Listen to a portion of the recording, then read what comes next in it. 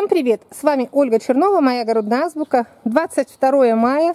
Как я уже говорила, в этом году первый раз в жизни я поставила не самодельную вот эту вот тепличку, как всегда тоннели делала, а заводскую. И я обещала, что все-все наблюдения, ну вот что с ней происходит, какие-то плюсы или минусы, я все буду рассказывать. Тем более люди интересуются.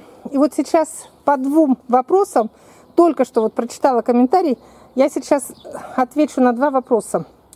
Вот и до этого писали, когда я только устанавливала, люди писали, что вот эта вот ткань Ryzen, все знают, что я выговорить ее не могу, но Ryzen Фаус, Ryzen Хаузен, что ли, что она, вот из-за того, что у нее здесь такая вот пористая, дырчатая структура, что она пропускает дождь.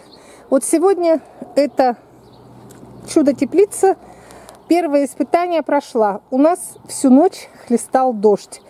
И люди до того еще, как я установила, говорили, что дождь сквозь нее проходит, и вот получается такая мельчайшая-мельчайшая, как бы водяная пыль, и оседает на томатах, и томаты потом весь день стоят мокрые, ну потому что она не продувается и не просыхает. Я утром первым делом прибежала сюда посмотреть, действительно ли мои томаты стоят все мокрые и не просыхают. Но сейчас-то, конечно, они уже не мокрые, но и утром они не были мокрые. И я вот только подумала, что нужно сказать об этом, что нет, вот первый дождь прошел, и она прошла испытание, томаты не намочились. И сразу же увидела комментарий на эту же тему, уже новый. Вот Виолетта Фиолетова спрашивает, так, так, так. А, нет, она про свет. А это Людмила Хаджамедова спросила, пропускает ли чудо-теплица осадки и нужно ли кидать дополнительную пленку. Я вот все сегодня утром осмотрела, но может быть недостаточно, может быть нужен какой-то сильно другой ливень. Вот видите, если вам видно, видите вот разводы вот здесь вот. Ну как, вместе с дождем, который падал сюда, вот эти грязные разводы, пыль, видать, как прибивала, кроме этих разводов, таких грязных и мокрых снаружи, ничего от дождя я здесь не нашла. И земля сухая, как была. Видите, земля совершенно сухая, все сухо. И томаты сухие, и были сухие они днем. Так что вот первое испытание дождем чудо теплица выдержала на отлично. Потом, вот как раз Виолетта Фиолетова, я выписала специально даже эти вопросики. Сегодня написала, так, теплица, подождите, свои каракули не могу разобрать. Что? Не... А, некоторые блогеры, это я так написала, некоторые блогеры утверждают, что в ней мало света для томатов. А какое ваше мнение? Но я сразу скажу, что я такой человек, что за неделю у меня мнение не может сложиться. Я не могу сказать, что вот я только высадила томаты, они тут неделю просидели и все. Я свое авторитетное мнение заявляю, что света здесь достаточно. Нет, конечно. Я буду за ней наблюдать, но я считаю, вот если логически поразмыслить, что количество света будет напрямую зависеть, зависеть от нашей погоды. Вот у нас стояла такая жара, что этим бедным томатам приходилось тут укрываться наоборот от палящего солнца. Я уже говорила, что при высадке тут такая, такой рассеянный солнечный свет, что они не вяли, не пригорали.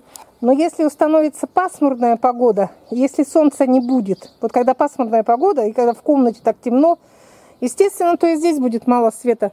Но вот пока было солнце, света было предостаточно. Так, вот про солнце, значит, у меня мнения нет еще. Не могу ничего сказать.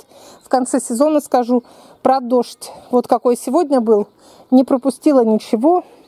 И еще одна такая, не знаю, как один такой факт, который то ли плюс, то ли минус, я не могу понять. Вот это вот ослепительно белая ткань, вот такая белоснежная, аж в глазах, вот посмотришь на нее, даже это в глазах так делается, как это, ну, слишком ярко. Она очень привлекает колорадских жуков, и это у меня вот такая очередная ловушка для колорадов. Я захожу и собираю их. то я же вам говорила, что шастают по огороду у нас колорады. На земле их не видно, и на растениях их не видно. А вот здесь смотрите. Вот там. Вот там. Они, короче, заходят вот на этот участок, чтобы покушать. Тут у меня баклажаны, там дальше есть помидоры. Но их так привлекает вот эта яркая белая ткань. Они как мотыльки на свет огня. Вот, вот она, я вам сейчас издалека покажу. Отойду немножко. Она вот видите, она какая-то вот светится даже. Она притягивает солнечный свет. И вот эти жуки, они соблазнившись, глупенькие, они все сюда залазят, их тут так хорошо видно. Я захожу, я все равно по огороду хожу. Зашла, раз семь штук собрала, вон в банку закрыла. Через час еще зашла, еще. Они, короче, со всего огорода ползут сюда. И это у меня своеобразная ловушка для колорадских жуков. Вот так вот. И полезно, и вроде бы не надо ходить по огороду. Может быть, я нынче и травить не буду, они все сюда сползутся, я их все соберу здесь. Все, до свидания. С вами была Ольга Чернова. Вот это такие небольшие ежедневные наблюдения по, про чудо-теплицу, про дождь, про свет и про жучков.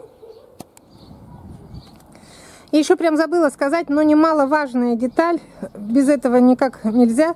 Вот во время дождя и до него – и вот сейчас у нас такая погода прям ветреная. И я показывала, что вот буду испытывать, теперь улетит, не улетит тепличка. Ее прям все трепыхало. Но она никуда не улетела, конечно, с места не сдвинулась. Вот испытание ветром тоже прошла. Но был, конечно, не сильный шторм прям, но ветер прям хороший был, добрый.